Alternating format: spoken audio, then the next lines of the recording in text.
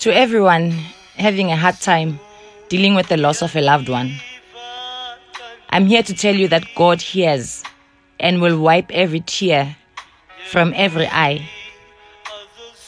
Your loved ones know dearly how you miss them. They are still with you and watch over you. Please try not to be saddened, for it worries them and concerns them to know that you are having a trying time. Push through and know that there is peace when we say sleep in peace or rest in peace.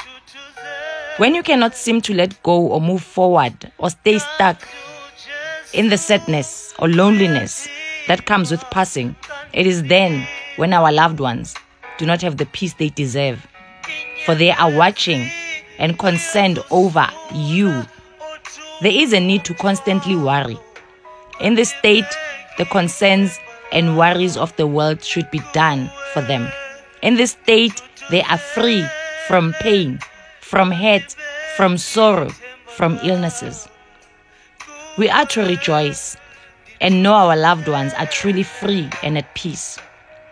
Though this may be hard, and some may disagree, and that's fine, but the truth is, death is only but the beginning, and our ancestors and loved ones that have started their journey do not ever forget us or ever leave us.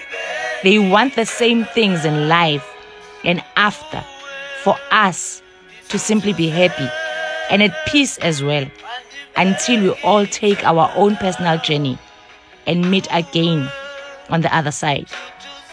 Fear not, for they are all watching and waiting for you and love you just the same. Unomvuyo KaMkhize. Thank you.